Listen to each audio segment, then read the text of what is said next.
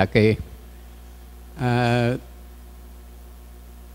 咱今仔日就是咱初级班上尾节，啊，足欢喜啦！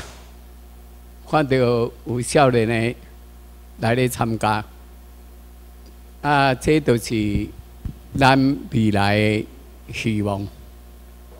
啊，首先呐，啊，我要自我介绍，因为咱大家把课表贴出来，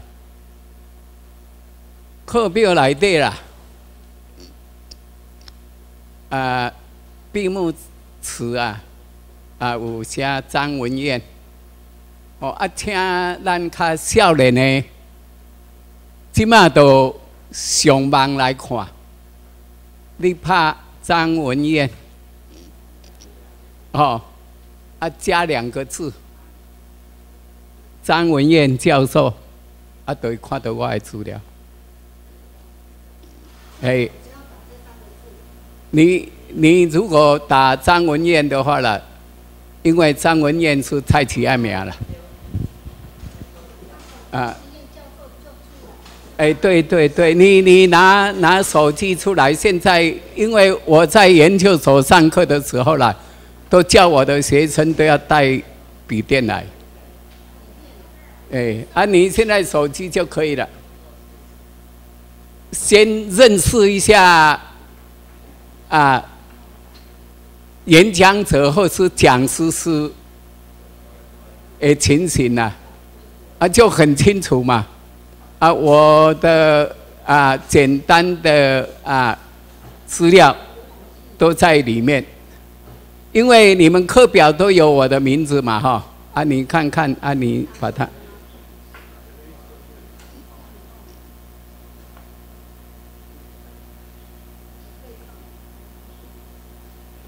那这三天来了，大家有没有收获？有，嘛哈？所以交钱来读书是有值得的。啊，我为什么这么讲？我跟你们都一样呢。我是第一期的，哎，现在已经快五年了，我也交钱来上课呢。当时候也是当讲师啊，啊，现在也当讲师啊。我来上课也是跟大家都一样交钱。像我的经验里面啊，国民啊革命实践研究院，我也去上过呢，应当是五天受训，不要交钱呐，吃住。再来李登辉国士班，我也去上课呢，去当学生呢。也不要交钱呐，他给便当给你吃。我当时候奇怪，我们来这边上课当讲师，等于当老师了。来这边上课的讲师了，我们也跟你大家都一样，都交钱。我去别的地方上课、车马会，还有演讲会，都要给我嘛。我现在去哪一个单位去审查，他也会给我什么？车马会跟审查会啊，来这边都没有嘞，还自己都掏腰包呢。啊，大家想一想，是为了什么？当时候的情况是为了什么？目的是为什么？因为目的希望我们台湾未来的子孙能够过好一点呐。只有这个理念呐，其他没有。啊，当时我们认为我们都还可以赚钱，也在想一想说，我们都是在等于是以现在来讲，我们就是等于是附加价值的应用嘛。等于是我已经七十几岁了，也差不多没有多少年就要再见了。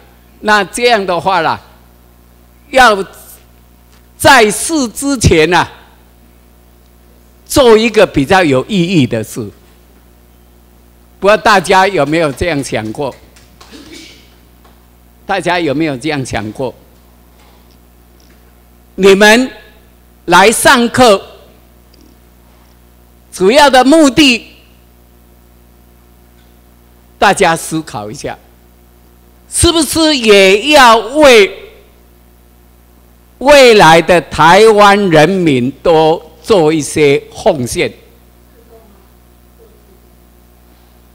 大家都自工也好，不所谓奉献，就你当官的时候，要跟科批一样啦，这样就对了啦。事实上，科批的观念都比我们还要晚两三年呢。因为我们上课的时候都讲我们的主张嘛，大家还了解我们的主张是什么吗？大家思考一下，台湾民政府的主张是什么？我们是依照。国际法、战争法，啊，《旧金山和平条约》，那么使流亡政府早一点离开了，这个就是我们主张啊，就是用和平的方式啊来解决。那我们在。我们的宗旨是什么？现在我们最主要今天，因为那个主张在开幕式都唱，那么我们的那个国歌啊，国家的我们未来的啊国家的国歌啊，当时候。唱完了以后呢，我们就我们的主张嘛，而我们的主张，因为美国也告诉我们是和平转移嘛，还有无缝接轨了，哎，无缝接轨，所以说他还告诉我们说，一段时间是两个政府的存在，那现在也是我们台湾民政府这么大的牌子。在台湾每一个地区都有办啊办公室了，那是不是两个政府的存在？也是嘛。啊，这个就是我们在主张上，美国告诉我们。那现在我们要告诉大家，我们的宗旨是什么？我说我们。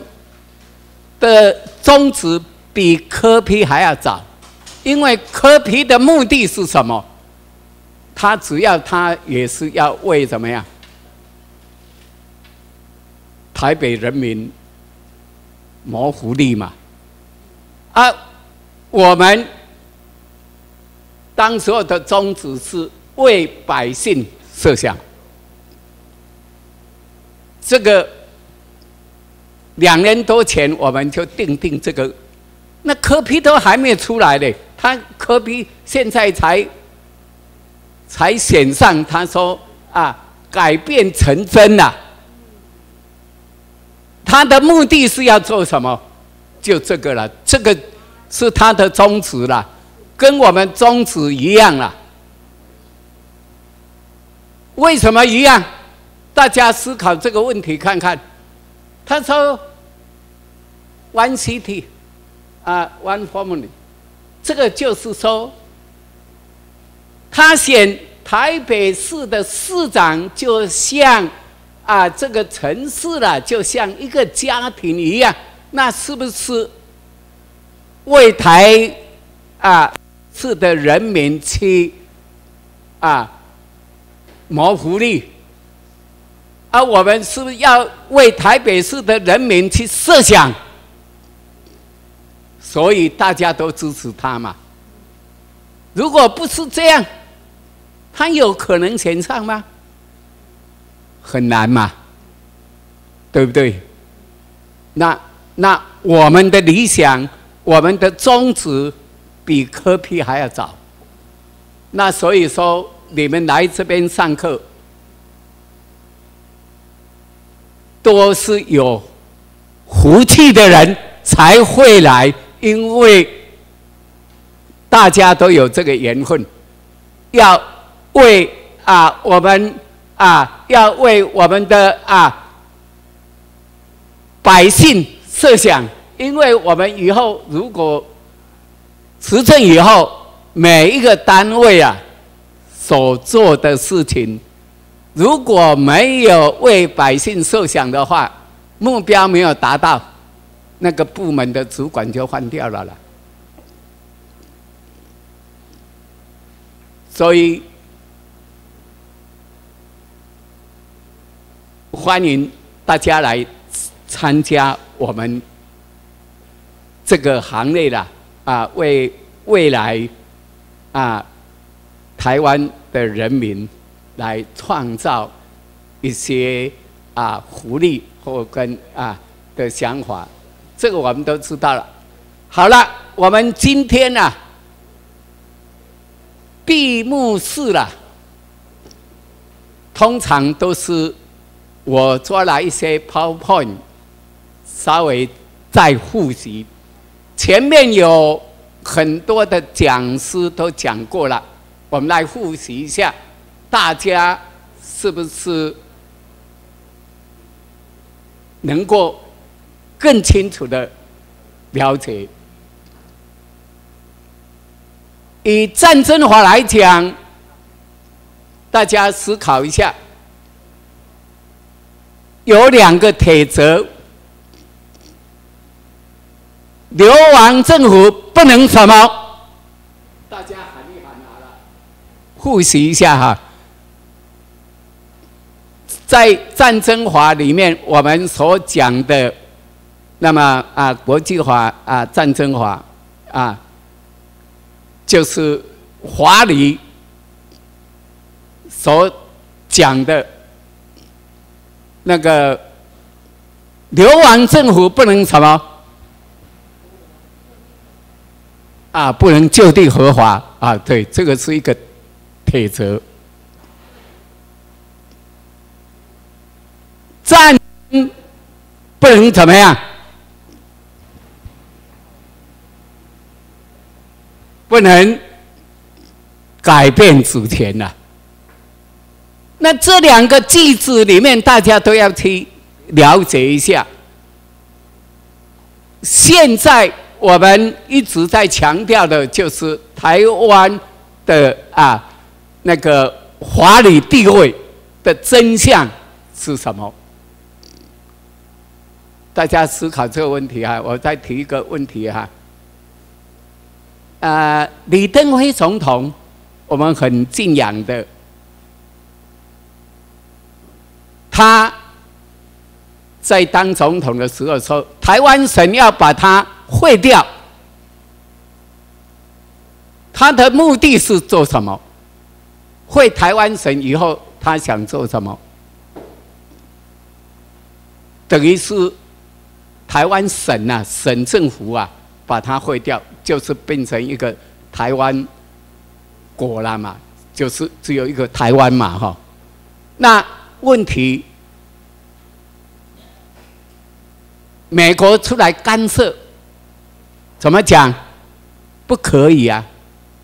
现在还有台湾省知道的举手一下。对，现在还有台湾台湾省知道的人举手一下。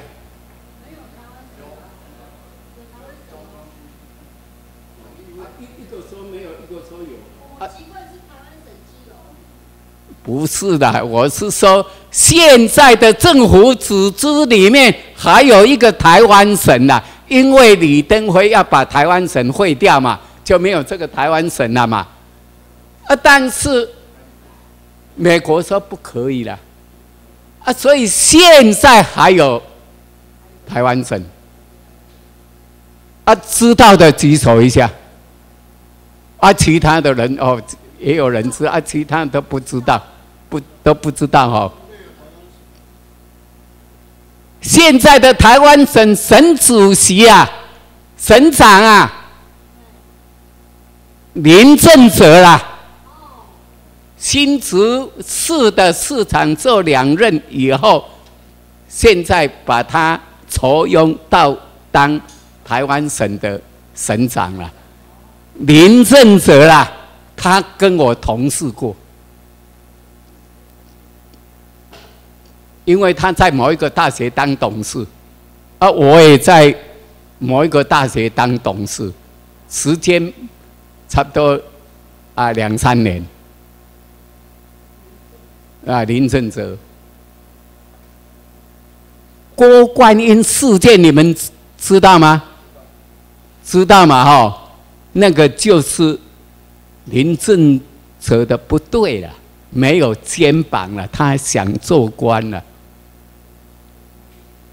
怎么会那个那个辞职的还会叫他啊扶植？所以所以这个就是他说好人呐，为什么？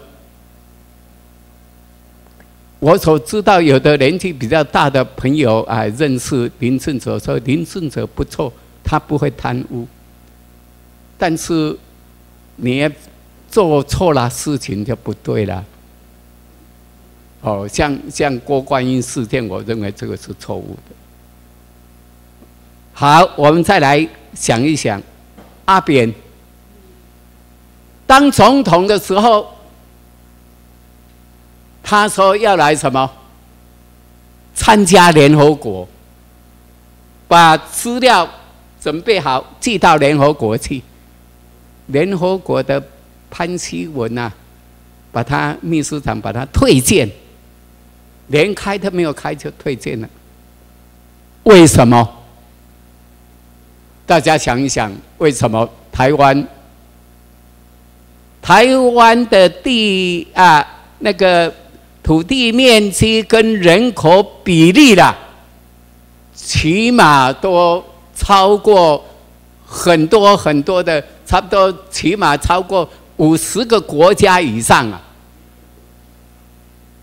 啊，为什么不能参加联合国？第一个是什么？事实上，一个国家要四个要件呐。第一个就是人民呐，是不是有人民？哦。土地、政府、外交权，这四个要件，大家想一想有没有？那个土地是谁的？啊，日本天皇的，没有土地。啊，人民，大家拿的身份证都是什么？都是中华民国的身份证。再来国家呢？世界上不承认的，没有这个。那么就说啊，这个政府世界上不承认。再来，在外交前，我们跟人家签订、互相承认，都是那些用中华民国跟人家签的。啊，都是南美洲啦，一些啊，非洲一些小朋友啦，所谓小朋友，他国家不大，人口不多啊，经济价值也并不很啊理想的啊，都是签的都比较不是先进国家啊，所以说都是中华民国跟人家签的，有没有一个用台湾共和国跟人家签？没有嘛？所以联合国推荐。再回来想，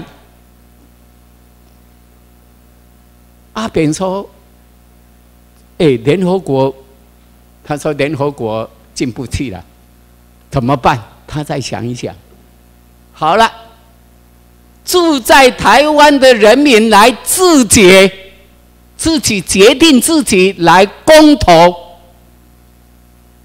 阿扁是不是想公投？对不对？美国说什么？不行啊！你是麻烦制造者了。说阿阿扁是麻烦制造者。大家有没有听过这一句“麻烦制造者”？就是美国跟他说你是麻烦制造者。为什么？明明。这块土地就是日本天皇的，怎么你住在这边的人要来公投来自决？哎，不可能。所以我们来这边上课了，就很清楚这两个总统所做的。都不了解啊，国际化、战争化，所以大家能够来上课，啊，能够接受这个华理的授信，以后出去跟人家讲就很清楚了，因为。依照旧金山和平条约，台湾这块土地现在还是美国的怎么样？啊，主要占领全国。我来看这一张，如果他不是只要。美国不是只要占领全国了，不可能由美国助理国务卿来发表说《苹果日报》罕见的要给台湾自治，这个自治啊，他有这个权限来讲说要给台湾自治。这个是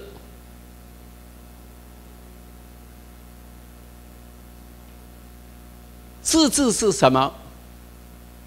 啊，用啊，autonomy 就是要给台湾自治，就是说上面有人的自治了，因为这块土地不是你们的，所以你们上面还有人啊，可以给你们自治啊，你。必须要知道这种状况，他出来喊。这个时间，大家看看这个时间点。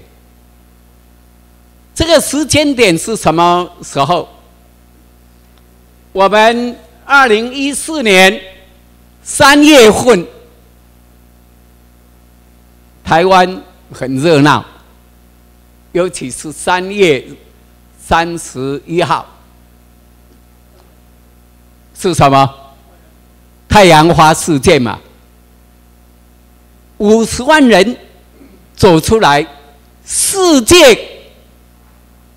先进国家本土台湾人都走出来，所以美国吓了一跳，赶快给这些年轻人，给台湾的这些人知道。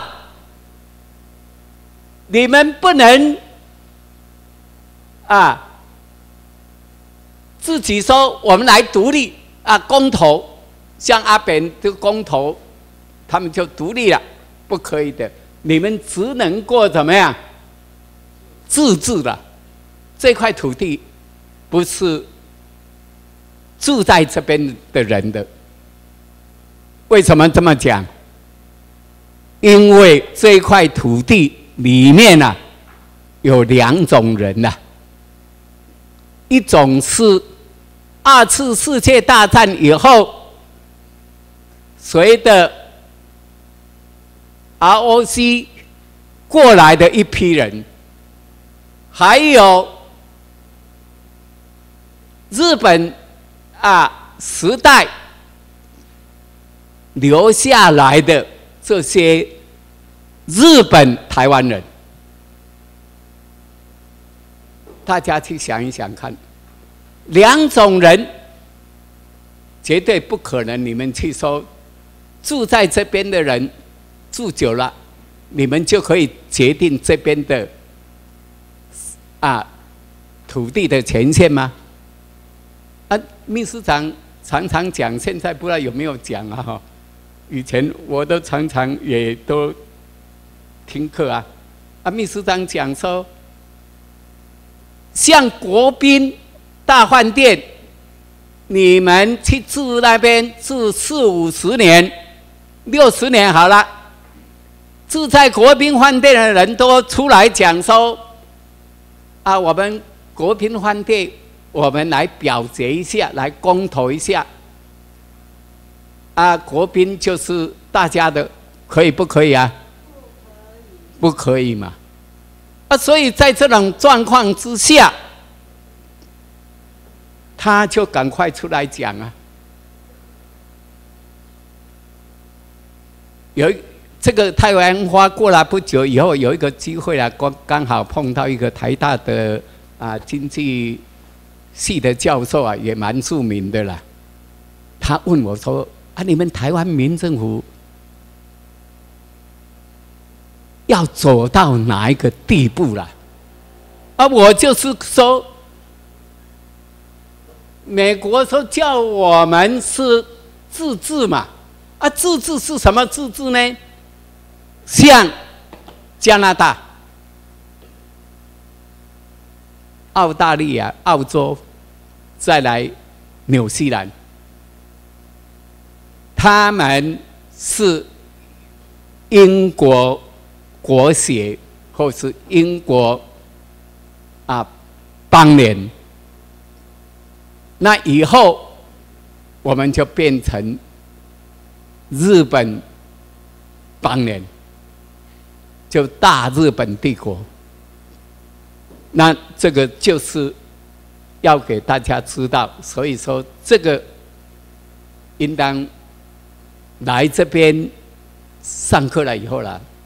就很清楚了，外面的报纸看的，你就会很清楚，要不然您都看不清楚嘛。啊，都是骗的，也都是假的嘛。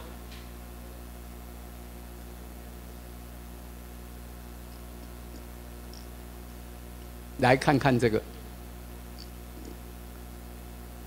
啊。这个蛮有趣的哈，这个蛮有趣的。啊，金普聪，他是马英九很要好的朋友了哈。他派他去驻美国代表两年，两年后回来了。刚刚回来跟马英九怎么讲？他说：“大船离港论呐，啊，这个也是有人啊，有时间啊的报道啊，你看看，大家想一想看，为什么讲？为什么讲？大船离港？大家想这个问题啊？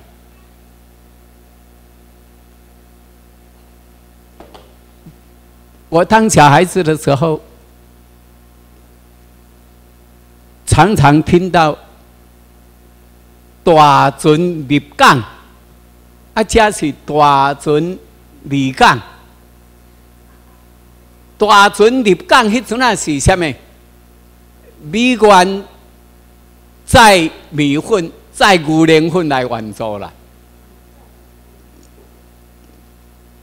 啊，即卖讲大船离港，啊，但是咧，伊搁去带美国咧，啊，美国是咱的主要占领全国咧，台湾关系法他就管你死死的呢，啊，所以他也很清楚啦，就告诉说大家准备绕跑了，啊，事实上就这样啊。很多信息都是这样的啊，你看不出来而已。我们慢慢看哈。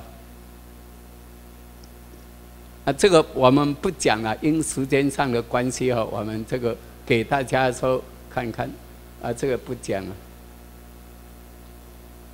我我我们来看，这个是不是准准备绕跑的？前奏，这是什么？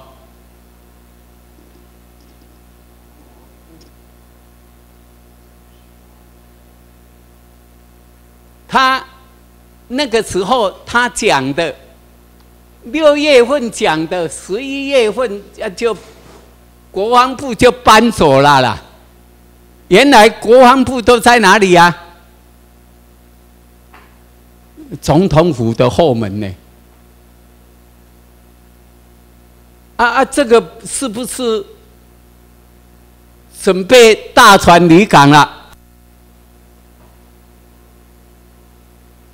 看看就很清楚啊！大家去想这个问题啊！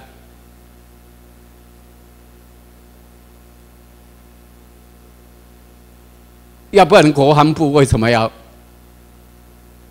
要搬到大竹去啊！有看到这个报纸的举手一下好吗？都没有哦，你有哈？啊，你可能会比较关心。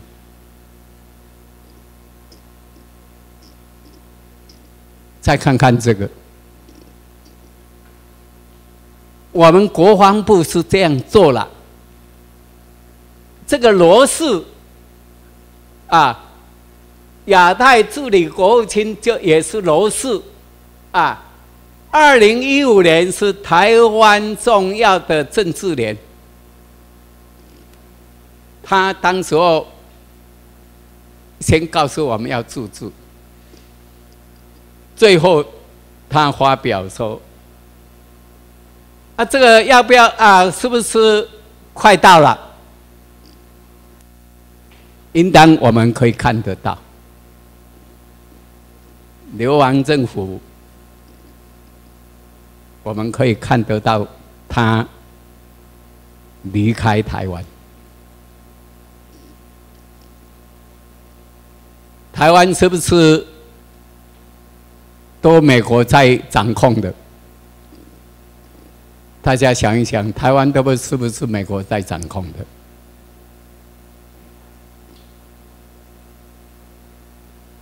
好了。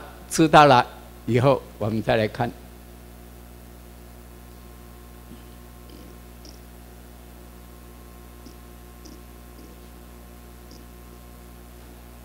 回来以后啊，就叫他去当什么？去当国安会的秘书长。哎，秘书长。二零一五年二月份，当回来的时候是啊，我们啊再回复来看，他回来的时候是多少？六月十六，啊，也差不多半年了。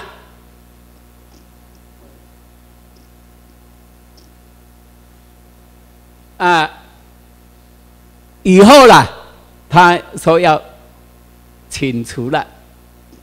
那么这个林玉芳啊，这个立委啊，他说这个不幸是健康的因素了，啊，这个自由时报把它标说先跳船呐，帮啊。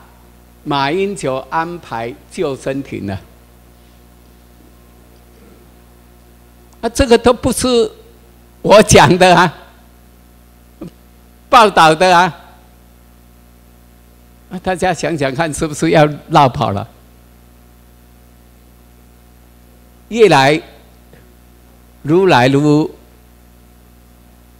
如赶快嘛，吼，就真正准备要绕跑。好，当然这个是精细的啦，老老立法委员呐，他说不信嘛，哈，啊，这个也是这样，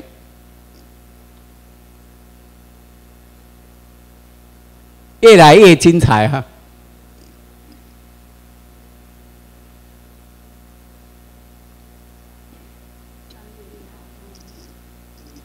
我我们看看哈，他什么时候？那个准，因为他辞职了以后，当太阳花事件啊结束以后，在几个月他辞职了。辞职以后，他说要回台大教书，有没有？他说要回台大去嘛？台大那些学生出来。哎，反对，为什么？大家想一想哦，因为你们不清楚了，因为我知道了。我为什么我知道？在学术上啊，有一个规定啊，一个学校一位教授拿的聘书了，照讲都是两年了，所以借调的时间呐。都是三年，所谓借调，从到学校单位调到啊政府单位，通常是给他三年。所以你第一年、第一年啊聘任以后，可能没有办法说你第一年聘聘任以后你就借调嘛，可能都都怎么样，都是。交一年以后啊，啊才行政单位借调去三年，回来你要不要在公务机关？如果你要在公务机关，那你就放弃，因为三年了嘛，啊那个两年一聘，两年一聘嘛，啊刚好他过期了，因为。他辞掉的时间呢，应当是在十一二月的时候。那那个时间要的话，就下个学年才会回到学校，但是已经过期了，保障期限已经过了。如果他一直续延续延，你都不离开两年两年两年，或是说你离开。还没有满三年啊！你说要回来啊？那又又两年又两年，那他已经超过那个时限了。那这样的话，要就是等于是重新聘请，重新聘请了。你的年资等于是断掉。教授有一个优惠了，但是现在私立学校或是有的。公立学校要变通一下，因为有时候教授比较难拿到啊。教授教七年，一年可以给你去进修，等于交七年休假一年了。啊，你被调去公务单位，他这个就你的。教授的年资就停掉了。有的人为了休假而不愿意到公务机关去，也有这样的。啊，因为你一去以后了，又回来的话，就年资就断了。啊，这些当然是在老师的啊享受啊，是只有教授哈。但是现在有的啊，给副教授啊有一个机会说啊，副教授可以了。先半年了，哦，你副教授啊三四年了，好了，给你半年出去了，哦，类似也有这样的了哈。那现在我们来看日期哈，我为什么要给大家去算这个日期呀？这个日期都很奇妙的，里面呢都可以看出很多的问题。三月六号。报纸出来，那么他出去是什么时候？这个三月六号，他江宜桦去美国，啊是三月六号，那就三月五号出去。三月四号，他没有回，那时候十二可能十一二月份他没有回台大哦，那个都。失业到三月四号，马总统再把他聘为什么？总统府的资政，资政，资政，大家晓得吗？第二天，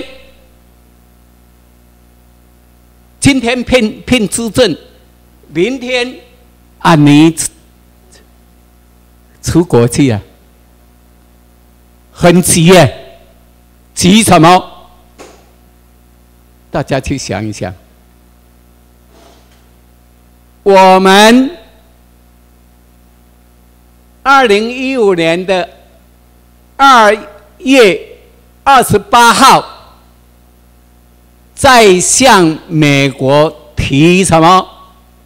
告示，我们告美国政府，又告流亡政府，这个大家知道不知道？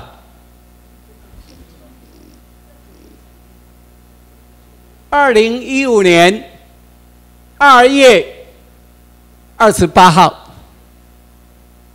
告了以后，他知道了，他要赶快派一个人去。美国去解决一些问题啊，是不是这样？要不然，为什么他的父亲？我想他也很孝顺的了，真友好了哈。因父亲生病也严重呢，啊，伊也无过去学校，也无过去政府机关做代志啊呢。咱去甲过了后，才到封官，隔壁咱在里头爱随出去啊，啊，都随出去啊，啊，出去什么人甲送机？这才趣味啊！伊要出去，讲叫警察头子甲送机啊。啊，警察迄个要做，咱咱来啊，看卖是虾米人甲送机？是这个诶，即去送机嘛？吼。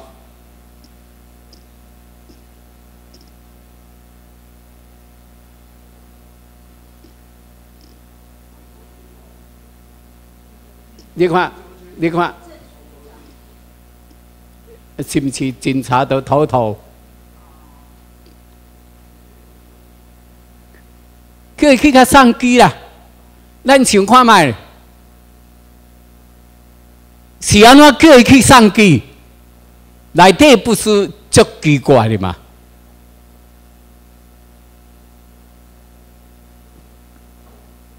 啊，伊甲江宜桦讲出迄个要检查的地方要出关的时，迄个警察看到王周进来，会惊你也袂惊你？啊？伊甲讲，啊你动咧动咧，你迄行李爱偷来看嘛者咯？敢毋敢？绝对毋敢嘛！起点甲惊你嘛，爱都带咧都出去啊！咱是毋是安尼？有奇怪无？所以足济代志啊！你若时间各方面甲连连的，甲人物甲连连的吼，真正足趣味的代志。哎啊！江宜桦出去无偌久，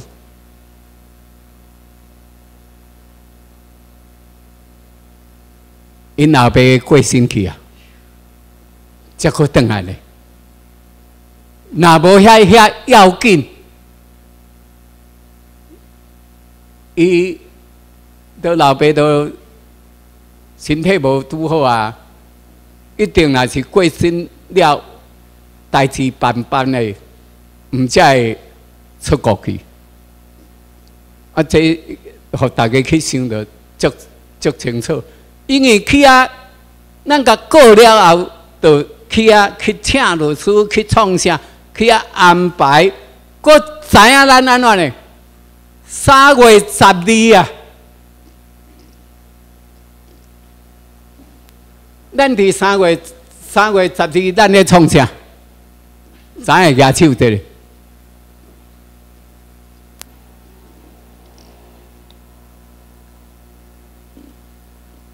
三月十二啊！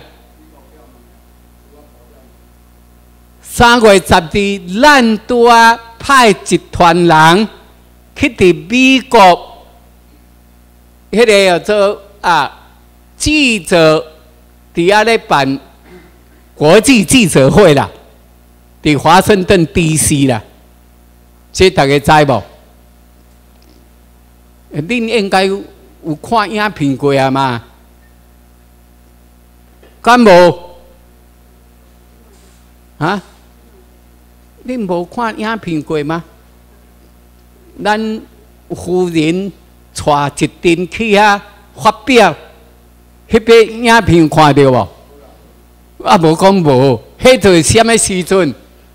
三月十二啦，安尼恁知影无？你看三月啊？咱咱啊，咱过来看，三月初七，三月初七，去到美国人差不多三月初七啦，哦，啊，初八、初九、初十，哦，啊，都去去邀请这个这个人，无爱去听咱的演讲。叫因这重量级的国会议员，这外交委员会的主席罗伊斯，带这人，爱去听咱的演讲。三月十三，因要来看科批，啊，这张出来，因都要来伫遮，那是三月十二啦。应该照讲，因遮个人拢会去听咱演讲，啊，都无爱我去听啦。安尼大家清楚无？无爱我去听。啊，来来来来，我甲恁交代来台湾。因讲台湾要创啥？哦，啊，恁足兴趣科批的啊，啊，无来去见科批啊，吼。啊！你看，啊，这拢是啥？因咱去安排哦。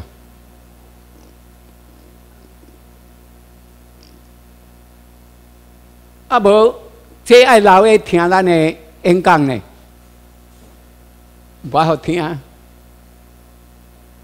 紧甲带带来台湾啊，互因听袂着啊。哦，啊，你看，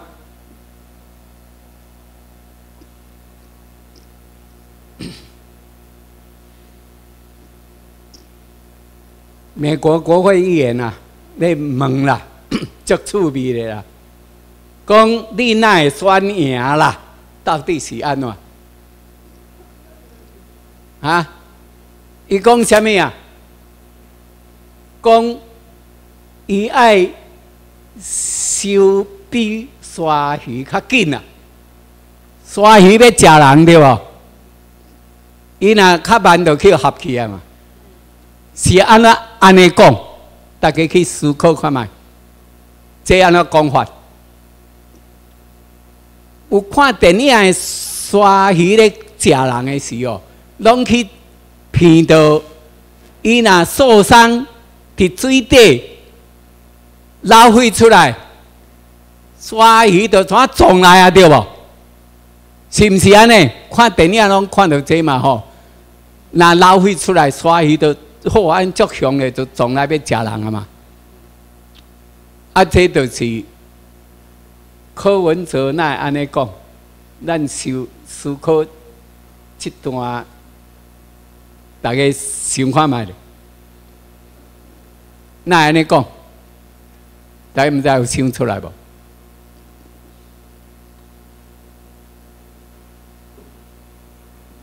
罗斯雷啊，罗斯雷大家知道嘛？吼，他这个都是要甲科比啊一刀毙命了，要打。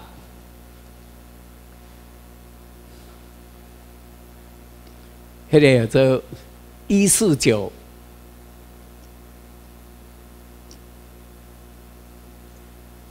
这个叫做弊案。啊，科批有厉害啊，无厉害？足厉害！你要讲我贪污，你讲我的小无清楚。好，所有的小拢甲大的。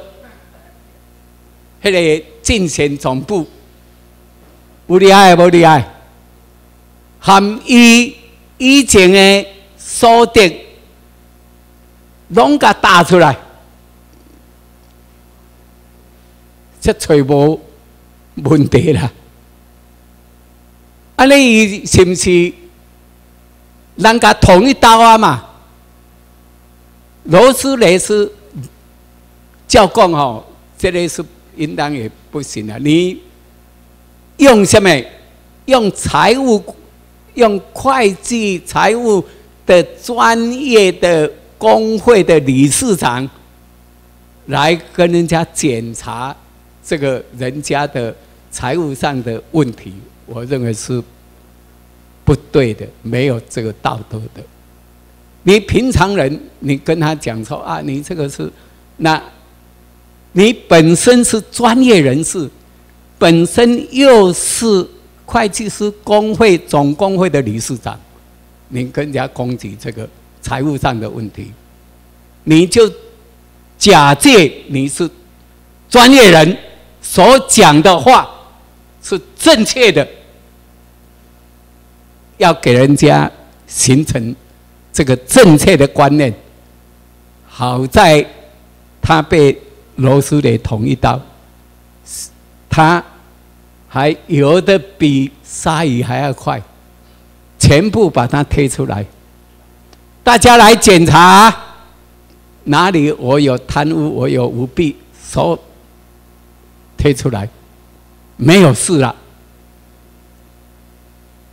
再捅一刀，捅一刀什么？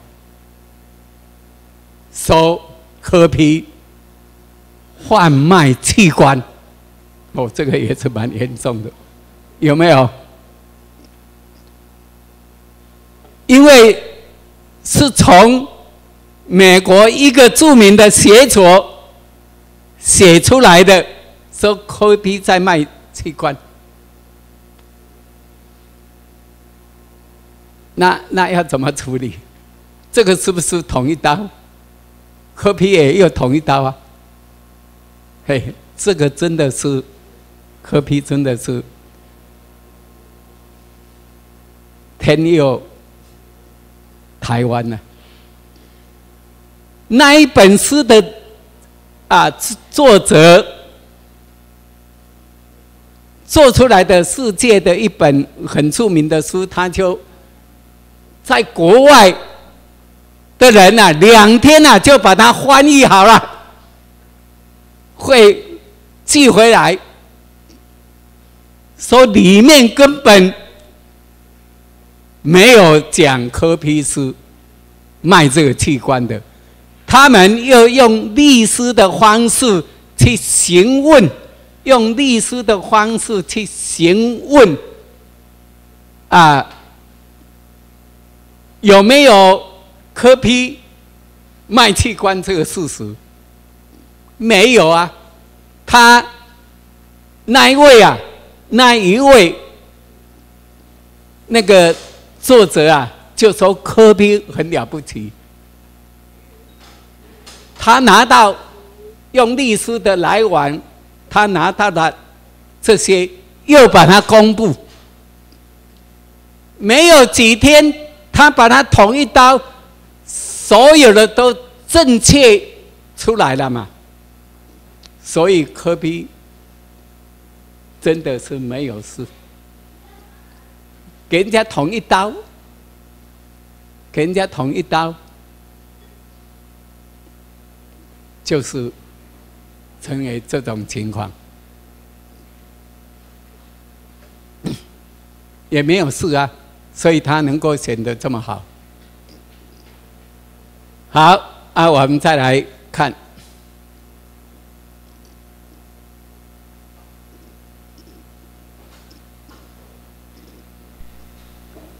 当然，现在啊，我们这个就要告诉啊大家哈，啊，我们我们要告诉大家的，就是说，要给大家了解的，就是说，早期啦，早期，啊。美国跟我们讲，告诉我们说，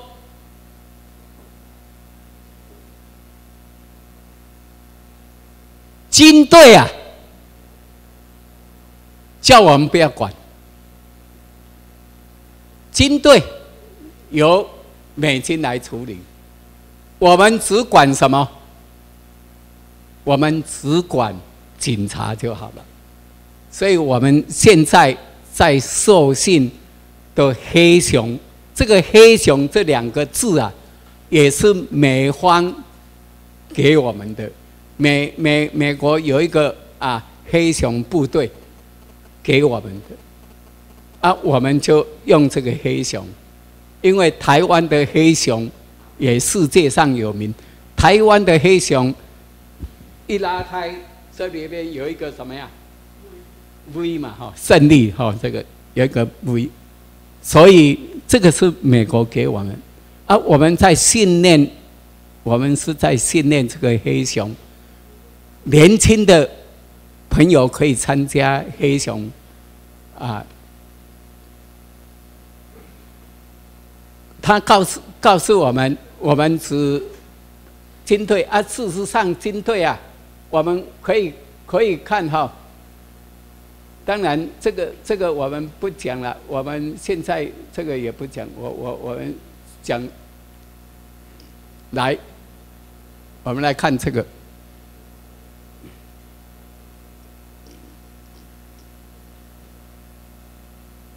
美方主动了，六零一里，跟美国二十五啊，那个。战斗航空旅结盟啊！奇怪，为什么要放出这个消息出来干什么？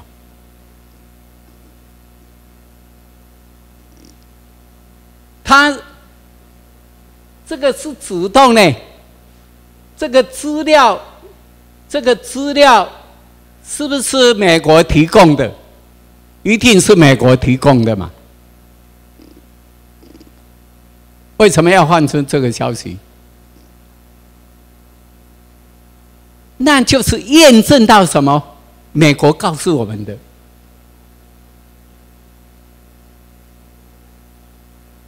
来，来看看这个。没指挥官交接，我们管管军队的总管出席了，啊，出席他在还标出来了，我们我们这个这个总长在这边呢，啊，他在办移交的时候他也出席了，啊，但这这两张照片大家。啊，看一看这两张照片，大家的想法是什么？大家想法是什么？美军是不是已经整个掌控你们台湾的军队？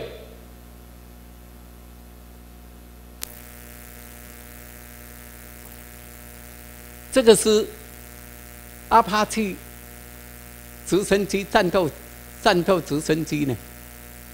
啊，这个是他们战斗航啊航空里呢？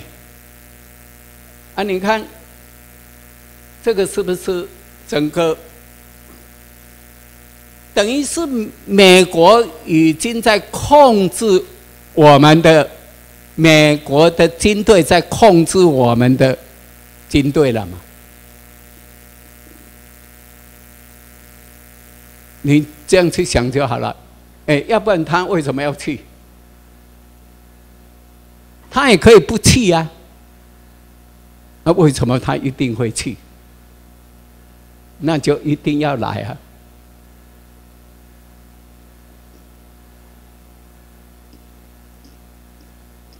当然，我们里面还有一张在在介介绍这些的哈，我们来。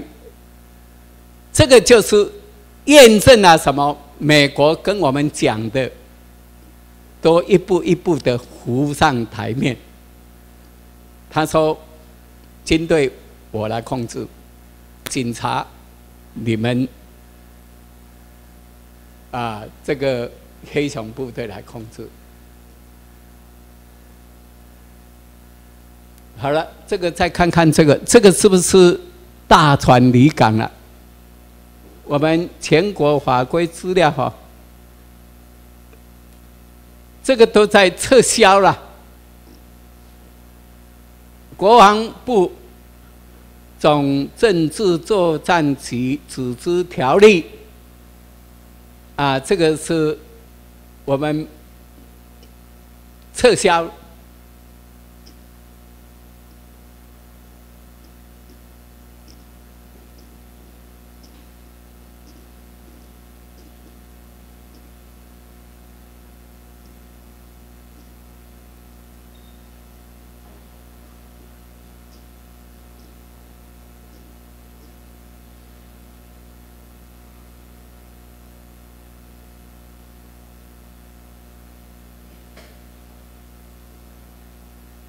啊，这个有没有看过？上课的时候老师都有给你们看过了嘛？哈。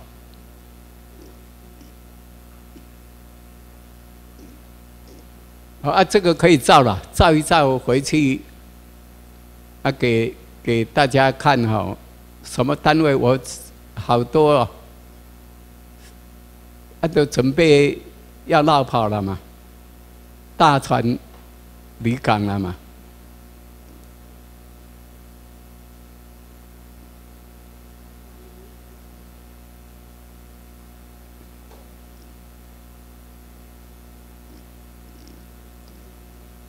啊，照好了，我们就要换下一张了。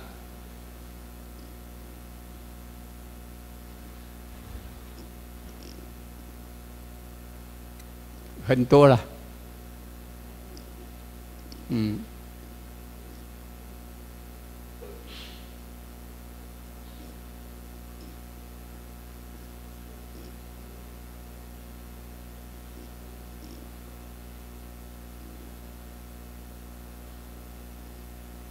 好，再来哈，如果照完了，我们再来换一张。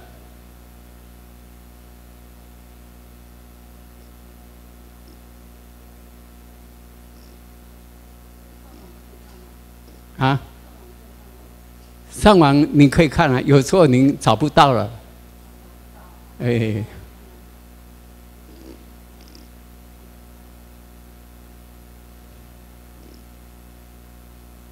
好，我们再来，你照一下回去，要看比较方便，要不然你要找可能找不到了。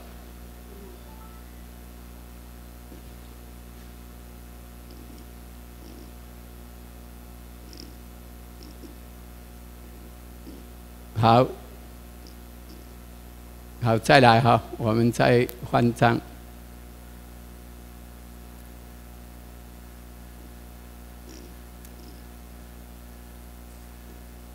那我们再来，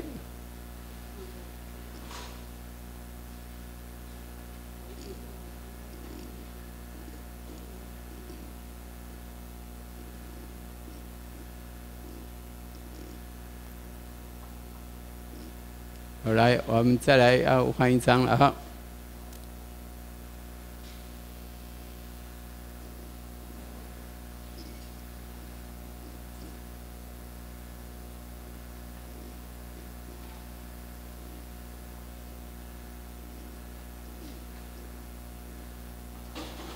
好了，我们再来换一张。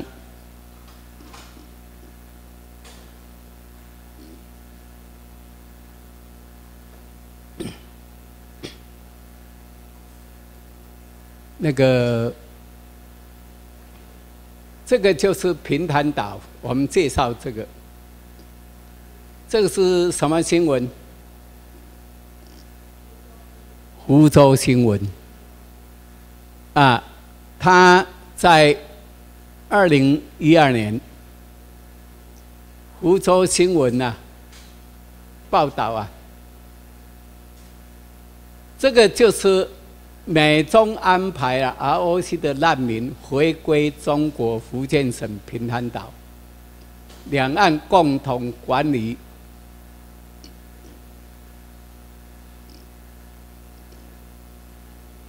讲到这一点啊，事实上，美国在做什么事啊，都有按部就班在。什么叫做按部就班？他不会今天想到明天就去做。今天想到，一定在整个思考规划以后，都规划好了再去做。早期的，在。寒战还没有爆发以前，啊，麦克阿帅邀请孙立人将军到他的第七舰队，孙立人。麦克阿瑟跟孙立人这么讲，他认为蒋介石不稳呐。当时候可能是在台湾，可能也是贪官呐，各方面做的不好，不稳，想要把他安排。到菲律宾去，把这个，把这些流亡政府所带来的这些官员呐，都把他安住在菲律宾，啊，请他来管理台湾，变成等于美军的军政府一样。啊，孙立人把这个信息回来以后啦，把这个信息去告诉蒋介石，形成了孙立人事件。大家不知道知道孙立人事件吗？被软禁了，进关帝带，无关了，能禁啦。台中河啊，迄个做，哎，合那个那时候那个叫做合作新村子，留在那个地方。我为什么讲这个故事给大家？事实上，美国做什么事，他都事先安排，因为他已经跟菲律宾都讲好了。后来怎么没有去菲律宾？韩战爆发以后，他希希望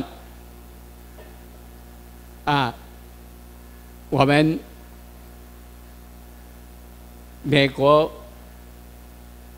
就啊进来打韩国了，哎，也就利用台湾了，把这件事啊就没有再提了，因为有孙立人被软禁。啊，这些原因，所以就没有再提了。现在为什么他要事先安排平潭岛？我们去想一想，美军进来以后，快要进来了，进来以后一宣布台湾美军管理，住在这边的人。会不会跑到中国去？会不会？大家都怕局势不稳嘛，有时候都会跑嘛。啊，如果住在台湾的，好像他们那个啊，等于是流亡政府的那些人，他也会跑到中国去啊。怕他乱跑，那么预估啊，超的二十万人到三十万人会跑出去。啊，如果三十万人有的跑去东北，有的跑去啊沈阳，啊有的跑去山东，有的跑去四川、贵州、云南。福建乱跑，我们这边都受到什么民主这个教育了？到那边可能到时候起革命，啊，中国就乱起来。那一边那边也在革命，那边也在革命，他全国都在起革命，那就他就也怕嘛。啊！美国跟他讲了以后说：“那好，都住在这边啊，我们规划三十啊万人的平潭岛可以给你们去住。”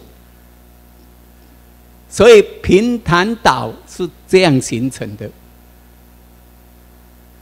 大家知道平潭岛听过吗？哈，听过吗？哈。哦，这几天听过，以前都没有听过哈。好了，来看看平潭岛的那个啊情形啊，跟他的啊报道。他当然这边写哦，有五个共同啦：共同规划、共同投资、共同建设、共同管理、共同设益。你开车子可以到那边去，新台币也可以用。你。医生，他那边也可以啊，给你营业看病，哦，台湾的都可以用了，啊，这个就是也是跟美国讲好的。那么要给美金进来以后，我们掌管了啊，那他啊可以给不想留在台湾的人可以到那边去。那好了，我们来麻烦一下看这个啊，这个报道啊，来看看。那统战的手法可能又来了哦。好，现在很多人哦都打算去平潭岛，为什么是这个岛呢？好，有人说呢，你如果愿意去大陆观光的话，你就可以到这里来。好，我们看看这是什么地方？平潭县跟台湾呢航程是三小时的距离，不算太远。他们现在开始呢，就在大举的挖角我们台湾的人才，特别打造了这么一个平潭实验区，里面的管理阶层通通用的是台湾人，它的总规制复制台湾，而且呢，据说哦，民调当中有百分之四十七的人是愿意当中国官，年薪当然很高了，大概是两三百万元，接近是台湾部长级的薪水了。而且现在最新的消息是说，还传出他们有意思要延揽亲民党主席宋楚瑜去担任整个区里面最高管理的职务，可是亲民党否认了。船身高达四层楼，附设豪华内装，丽娜轮正式起航，从台北开往平潭，大陆福建向台湾招手，要找一千人去当官。我去过，你有去过大陆？对，所以那个生生活品质太差了。因为那里的环境我不喜欢。如果说他寄出年薪两三百万呢？哦，那可能就会考虑。商品城加紧赶工，大片荒地，未来要盖高铁。福建平潭实验区号称两岸共治，找台湾人到大陆当公务员，网络征才，职务五花八门，每年可领二十万到六十万的人民币，最高年薪相当台币三百万。他们是号称对于台湾的开放的最后一个经济特区，也最后一个机会。所以本身来讲，平潭整个设计啊，就是针对台湾的工商业来做一个整体企划。拿高薪当诱饵，第一波吸引七十多人投履历，最后只取六人，录取率不到十趴，全是狠角色。曾经参选市议员、金汉生计负责人杜德宏，现任平潭医院副院长。交通与投资公司副总杨哲安，还有平潭区管委会副主委梁晴龙，都有金融背景，甚至传出亲民党主席宋楚瑜也在延揽名单。实在是太小看，也太侮辱了宋主席了。国民党啊，呃，新党啊，这这都是最严重的啊。那甚至于说，有了政党，他们的。呃，党主席都有在那边设办公室啊。区内特别标示，距离台湾只有六十八海里，交通、薪水双管齐下，试图把台湾人才一网打尽。三立新闻台北做不到。那因为这个是报道哈，啊，我们现在来看看这个也台湾受害哈，在平潭受害的台商的报道，来。针对中共在福建平潭设立实验区，福建省长抵台大力推销并进行非法招商。今天，受害台商在台中发起抗议中共投资诱骗陷阱的大游行，告诉台湾民众，平潭是中共招商引资的又一个火坑。我们今天的透视焦点：黑暗福建，黑暗福建，贪官横行，贪官横行，投资福建，投资福建。死路一条，死路一条。抗议中共引资伎俩，受害台商周六在台中举办游行。面对中共大力推销平潭实验区，提出各项投资利多，受害台商表示：现在这个平潭说两岸共同设计、共同经营、共同开发，最后共同共享，其实是骗人的，不过是另外一个引军入瓮的新招。啊，这个就很很摆明的，就是希望把台湾掏空嘛。因为平潭县平，他每次都是画一个大饼，然后设下一个陷阱，然后哦，让我们这来到我们这边招商以后，台商一进去以后，他就瓮中捉鳖了，开始宰你们了。现场参与游行的台商也控诉中共黑暗司法，说中国现在的司法根本就是招商引资的诈骗工具。我们今天最主要来办这个活动。我们也就是要警告台湾人，中共的这些哦，这些伎俩呢，我们已经看透了。中共就是这样，每次就是他如果法律赢你的，哎，他就依法办；法律输你了，他就用抢劫霸占。司法在中国大陆啊，简直只是作为他来诈骗的一个工具，这根本就没用。中国的人民最高人民检察院告诉法务部说。我这个案子不在两岸司法互助范围之内，我把海基会跟海协会签的两岸司法互助拿给他看，这个白纸黑字，赌足罪啊，怎么会没有呢？那法务部说他们说没有，我也没办法。所以我们的我们这个法务部好像是他的下属单位，他说没有就没有。受害台商接下来将继续在台南、高雄两地游行，要用血泪教训揭露中共诱骗投资陷阱。新唐人亚太电视邱天喜、赵阳，台湾台中。好，那大家看看到这个以后了，我也要补充一下，可能在五年前左右了，啊。我本身是仲裁人，当然我的身份很多了。本身当然是教授，又是专门职业，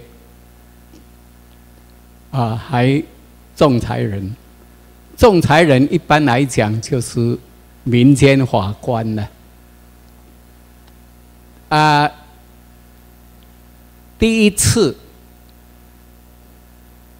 中华民国仲裁协会到北京跟他们北京的仲裁啊办个研讨会，在北京，我们我去了，去了以后了，在结业事前呢，有一个啊座谈嘛，Q&A 嘛，我举手。请问他们就是人民啊的啊法院的法官？我请问说，为什么台商啊在中国打官司都判输？他们回答怎么讲呢？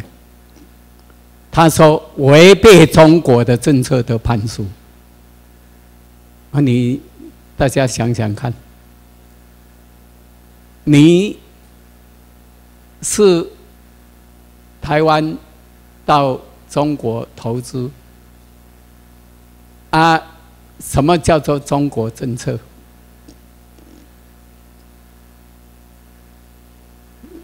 什么是中国政策？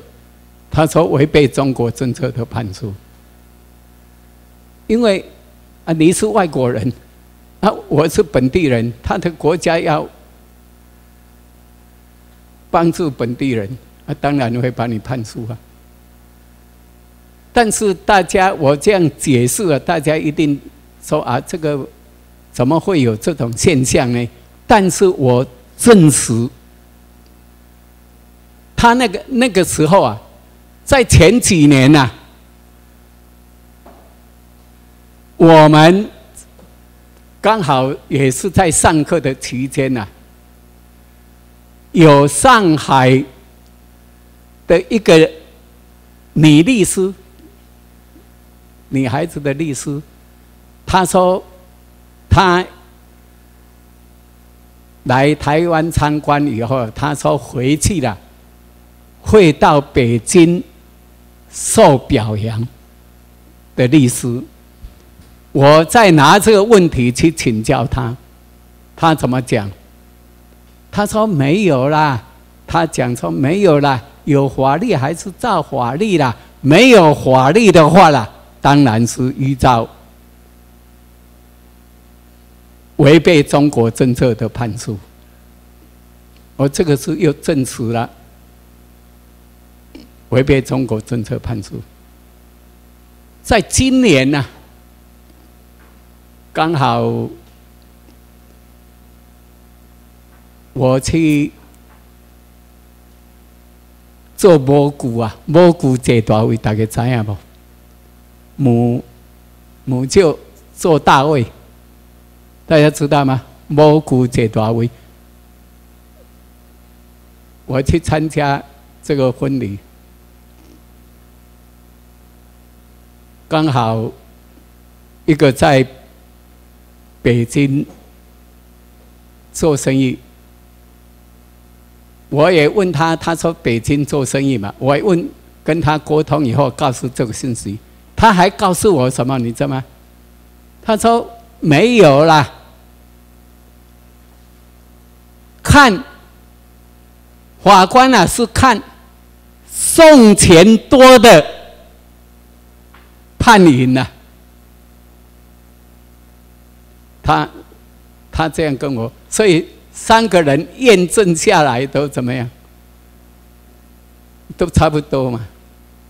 等于他们的，你你你不是当地人，给你输啊！啊，你送钱送少了也输啊。他说他在那边打很多官司，有这个经验了。你要敢送钱，你要打官司就要敢送钱，送钱比。对方还要多，但是如果台商都台台商打官司是这种，如果不台商跟本地人的话，那可能就说违背中国政策的都判输了。给大家去思考这个问题，真的他们的是这种情况。啊，那我们讲到啊，这里面我们再来看看，可能有一些你们没有办法看到的一些资料的 PowerPoint 给大家看。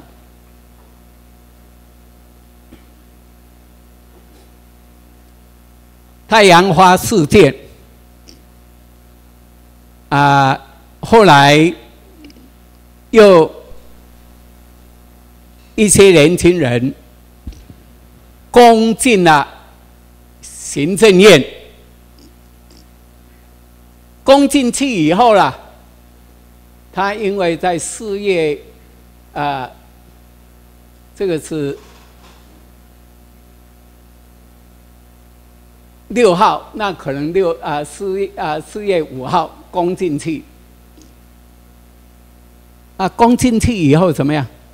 这位啊，是辅大辅仁大学的啊，美国啊，那么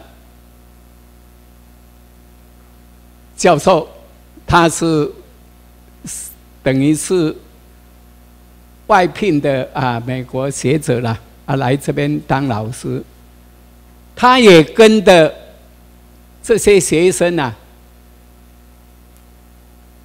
跑去了行政院，一进去以后，他从在二楼进去以后，从抽屉里面啊，去翻出来啊，从抽屉里面去发现这一张，这个也蛮厉害的哈，中文看得懂啊。他从抽屉里面呢。拿出来啊，那个手机拿来一照，把它公布出来，说这个就是表示行政单位啊，行政院的等于是高级公务人员都在作假。你看是不是高级公务人员都在作假？每天要上啊正院的一点通七点五十次，有点的啊就打勾了，没有点的哦就他休假了，他休假了啊！你看是不是那个公务人员都在这边鬼混，都在那边骗？所以，看到这些，这些都是证据啊！你不能乱讲啊！啊，你看看公务人员在在干，都在做什么？我们缴的薪薪，还得扣税，我们缴的钱啊，花给公务人员，公务人员在那边造假，至少要点五十次了，表示按赞了。那你看看，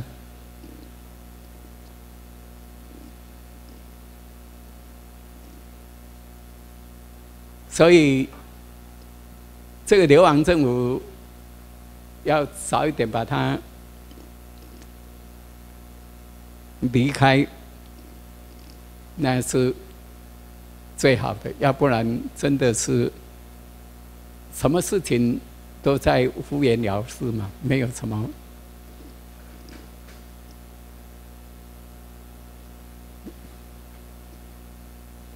啊，这个当然都在怎么样猜病了嘛，都在猜测了嘛。这个事实上是这样，都在猜测了。那个那个时段都在猜测了。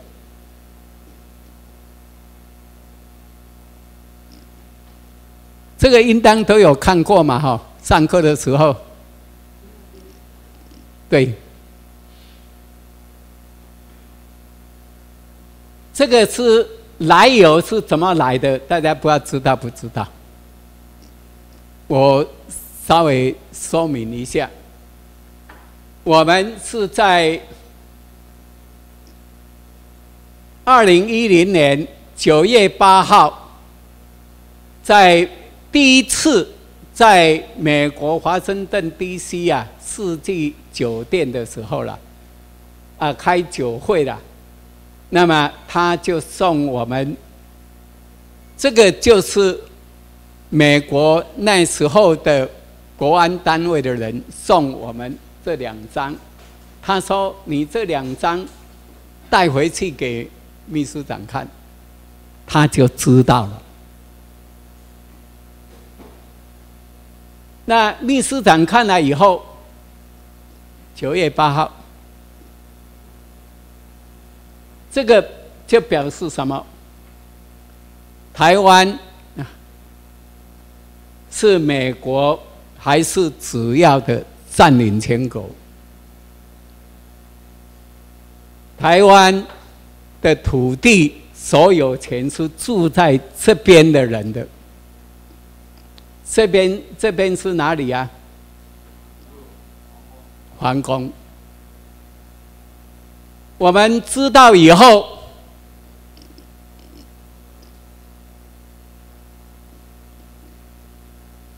二零一一年十二月，我们就去在这边去拜日本天皇，要不然我们不知道嘛。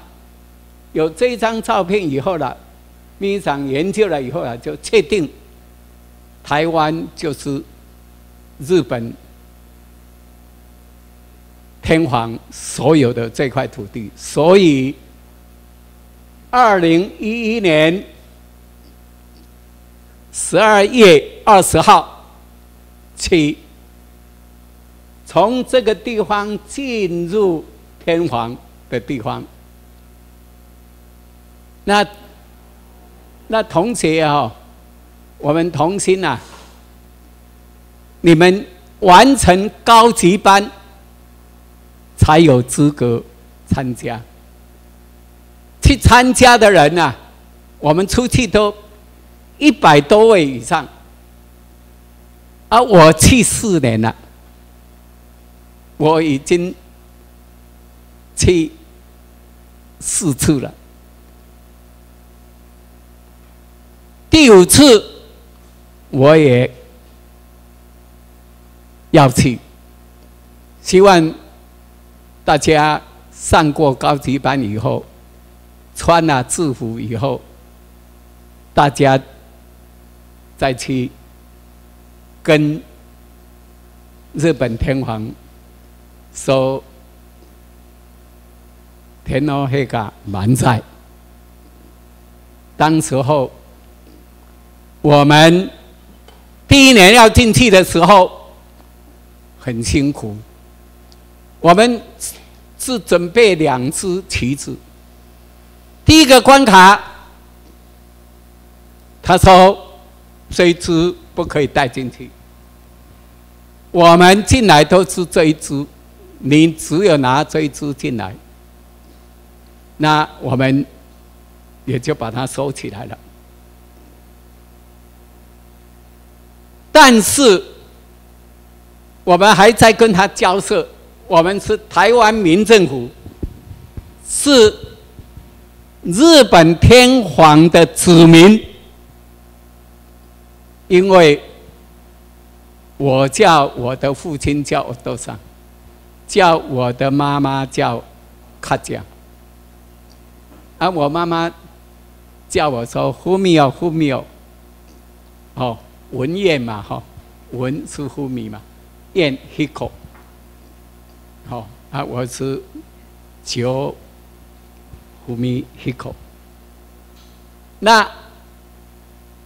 所以我们跟他交收以后呢，他就打电话去问啊那个宫廷里面的皇冠皇宫里面的人，回来了以后说可以了，我们这次可以带带过去，我们士气大振，我们终于这一支可以进到日本皇宫。从那个时段，每年啊，日本天皇生日的时候，都这两只都可以进去。已经四年了，第一年报纸看我们这个旗子啊，他去照了以后，他也把你画什么？画红的呢？报纸出来，这个红的比较小啊，对不对？我们比较一下，我们这个红的比较圈圈大啊。他照出来，他这只没有画啊，把我们这只也全部都怎么样？画红的。他说他们根本就没有看到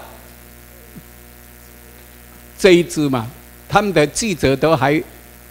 报道新闻都不给我们报道，所以我们就发现，但第二跟他抗议，第二年的时候呢，我们这个妻子都有出来了，有报道出来了，所以他们现在很清楚，很清楚，啊，那个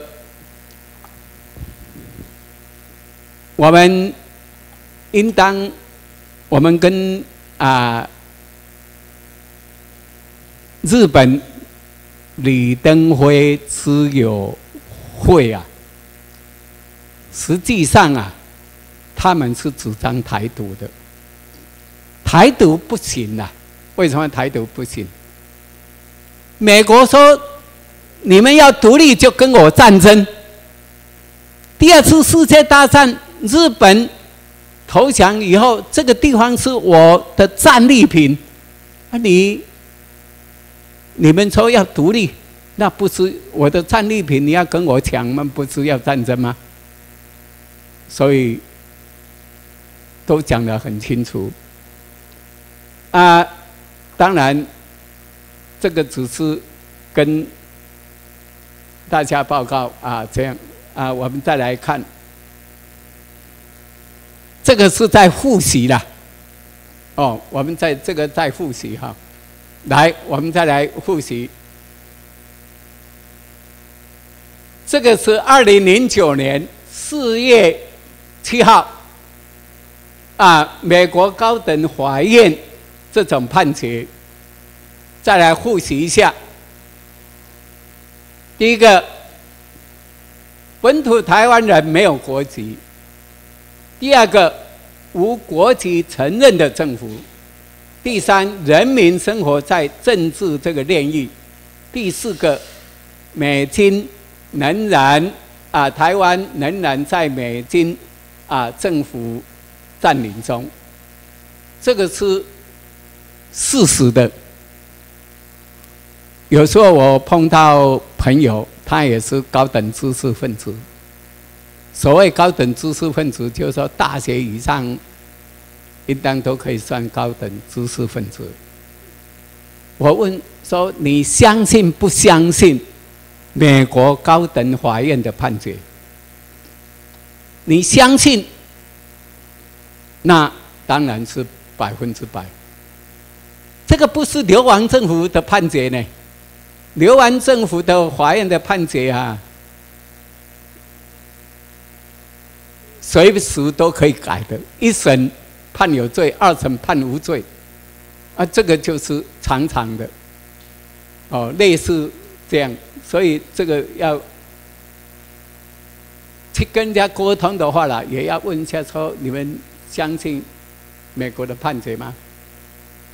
如果你是高等知识分子，啊，你要不相信美国的判决啊，那你根根本就啊有问题嘛。来，啊，当然，这个就是在给大家了解一下这个这些的。我们看看哈，你看，你看这个这个报道哈。这个是二零一三年五月二十七号这个报道，改募兵的，因为国防部的组织了裁撤陆海空三军啊司令部，那这个就是给大家看看了，但事实上啊，前面所看的例子就有了嘛。等于是我们军队都被美军同盟了嘛？好听说同盟了，讲不好听说被美军收编了，这样大家知道吗？就被美军收编了嘛？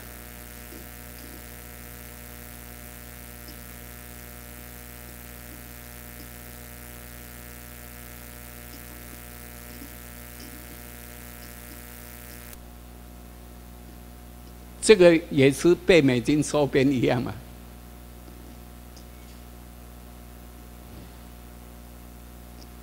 后来这个也是啊，因为签完一块以后啦，那个国军、共军都是中国军啊。你看这个报道哈，他说美军撤台三十年，第七舰队官兵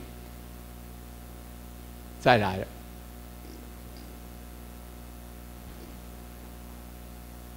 啊，在新竹的有没有？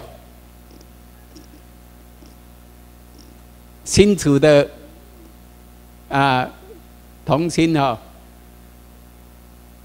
这个我们出钱的呢，全部我们出的。美国派人来呢，他不用我们的工人呢，全部都用美国人在这边盖的呢。这个是什么？他就是安邦啊，是事实上新竹乐山雷达站呐，加一个安邦，就是中华民国出钱帮助这个啊美国设立的雷达站。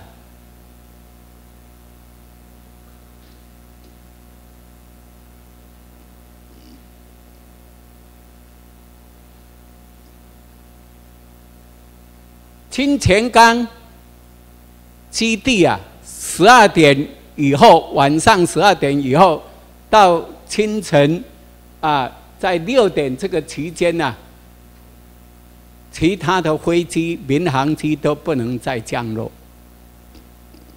我当时候看了一份报纸，哎，我感觉很奇怪，为什么从香港飞一部啊飞机已经超过？十二点多了，叫他从飞回香港，有一个民航机啊，我也感觉很奇怪，怎么迟飞，怎么会有这种现象呢？因为美金一就是一，你在这个十二以后，我这个机场就全部管制，所以啊，今天。青田港机场是什么？是啊，美军在用中东那边的飞机回来这边休息一下，再回啊到那个等于是回到关岛这方面去的。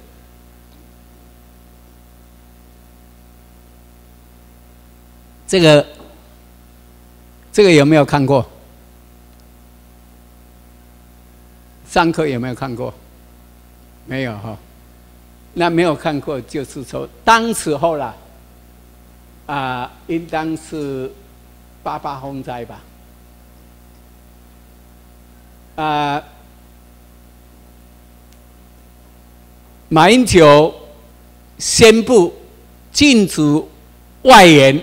当时候发生洪灾的时候，说美国也要来，中中共也要来援助。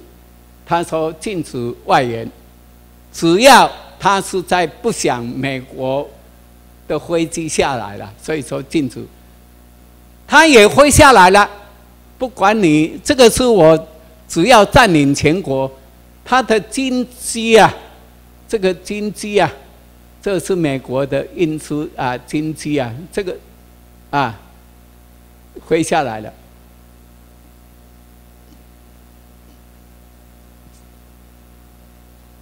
马政府拒绝国际救援，美军啊来去自如，这个就是在台南机场。那个 F 十八有没有降下来？它也降下来了，给你看看呐。这个地方是我掌管的，你们说啊不可以进来。这个也是。这个是哪一个单位？A I T 嘛，这个就是二零一一年三月十七号，美国在台湾桃园机场 A I T 自设海关，自己处理日本大地震从日本撤退进入台湾的这些他们的居民。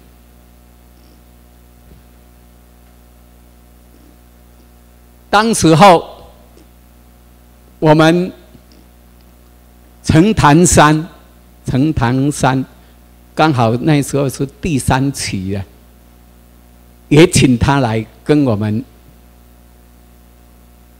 外外聘的讲师了，来跟我们演讲。我们拿这个给他看，啊，他拿这个去执行了。啊啊！给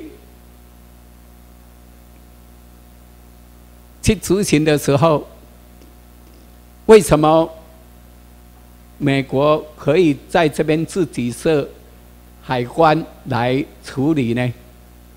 那不是我们主权没有了吗？那他说啊，当时候应当是行政院长说要给他们方便的。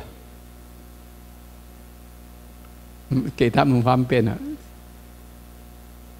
这一张，应当有的都有看到。啊，这个也事实啊。台湾不是我只要占领全国，他怎么随时飞机飞下来，随时要做什么都由他自己来。啊，你们到旁边。流亡政府去啊，在旁边啊。那我们现在来换换我们三立来跟我们报道的这个新闻啊，请。宣传单、报纸广告厚厚一叠，权力法案上到处可看到“台湾民政府”五个字。走一趟总部，发现都是穿白衬衫的年轻人员在办公。嗯，他们。我们现在目前有分初级班和高级班，那我们两班都上完的话，会有那个证书。那还有就是未来的公务人员参加研习营，一次六千元起跳，未来就可以捧一辈子铁饭碗。台湾民政府还自制晶片身份证，每张一千元，号称拿着它就可以自由进出美国。现在如果你用中华民国护照，他要你证明你是台湾人，你就拿这一张就可以进去了。写着“黑熊部队”这一大叠，附上姓名、电话、大头贴，通通是来应征台湾民政府警察。卡其色制服上就绣着一只大黑熊。台湾民政府两千零八年二月二号成立，采内阁制，发下豪语，要发出四十一万份身份证，找到四千名公务员，以及募到一千位警察。红道营，所以才有这个旗子。国旗绿色代表台湾福尔摩沙，中间蓝白色代表美军占领中，最外环则是台湾六个州，每一位州长都有自己的办公空间，各自独立运作。马英九啊，怎么样？生吞活剥台湾人呐、嗯，所有的五大基因都破产。你看他哪一点做得好？你告诉我。不止看不惯马总统治理国家方式，更扬言，如果台湾民政府获得美国认证，往后只要马英九敢自称政府就提告。但大家的疑问是这个。谁疯了，以后就知道了。不要两年，你会看得到。冲着马总统而来，带领台湾人独立，号称不从事募款，但却有财力在报纸刊登半版广告，少说几十万起跳，还有自己的停机坪。台湾民政府能比中华民国政府有多少国际空间？外界都睁大眼睛。三新闻黄玉峰、白乔英桃园采访报道。啊、我们是感谢三立啦，但是有一点，他说我们这个身份证是自己制造，这个地方我们要跟他砍破的。为什么要跟他砍破的我们这个身份证啊，是美国制造，它是晶片，是晶片的身份证。啊，我们再来看看这个晶片的身份证在美国的使用，是给大家了解一下啊。我们来看，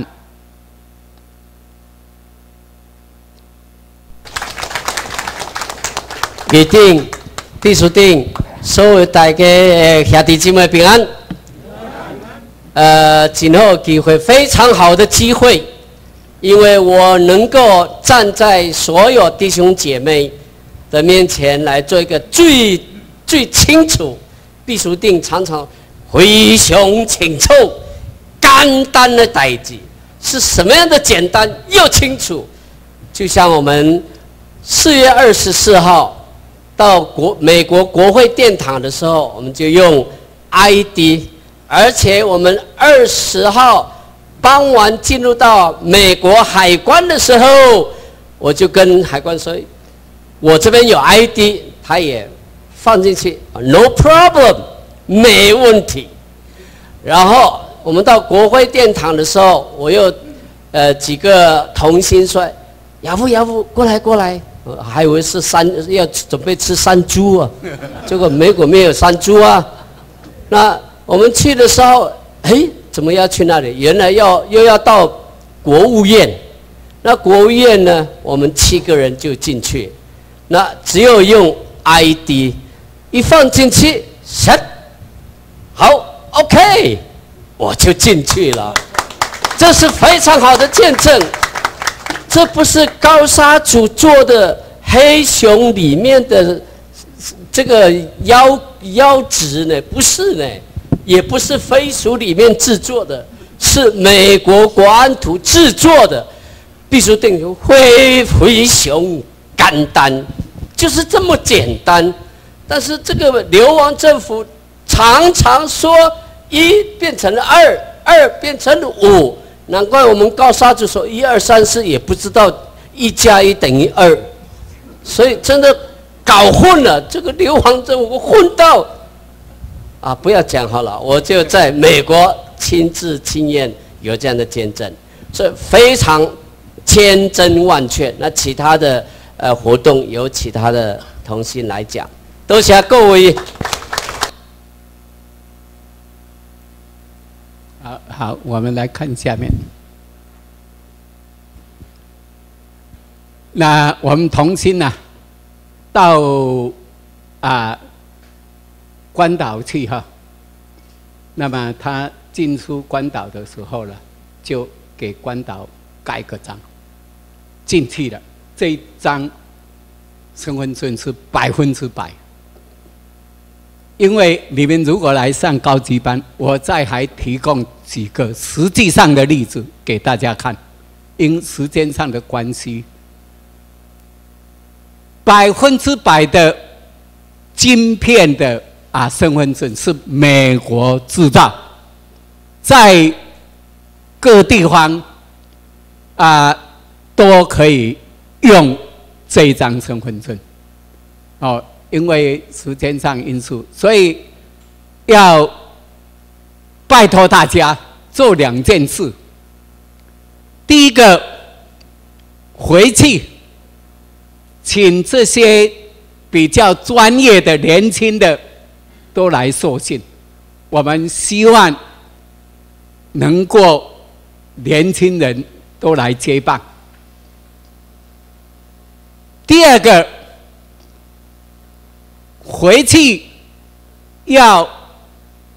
大家的亲戚朋友都来办这个身份证，因为这个身份证是百分之百的啊正确的，因为你有这个身份证，就是证明你是本土台湾人，你爱这一块台湾啊。如果你是啊，第二代、第三代，你爱护这块台湾，我们也希望你来办，因为等于你要在取得啊我们台湾政府的国籍的话，也要按照我们啊这本红的，就是我们台湾啊公民。啊，权利法案，大家带回去翻翻看。台湾啊，公民权利法案，你是第二代、第三代都可以来办身份证。哦，我们啊也欢迎你按照这个规定提早来办，对你有啊特别的。啊，优惠的，按照这些方式，按照啊台湾啊我们公民权利法案呐，那么所登录的要件啊，去来来做了。所以回去以后呢，不管你是本土啊台湾人，或是你是外省第二代、第三代，我们都欢迎你。哦啊，这个拜托大家啊，好不好？啊，很感谢啊，今天大家来了，我们希望高级班也能够再看到各位啊，谢谢大家啊，时间已经差不多了，有没有什么特别的要问的？有没有？好，请讲。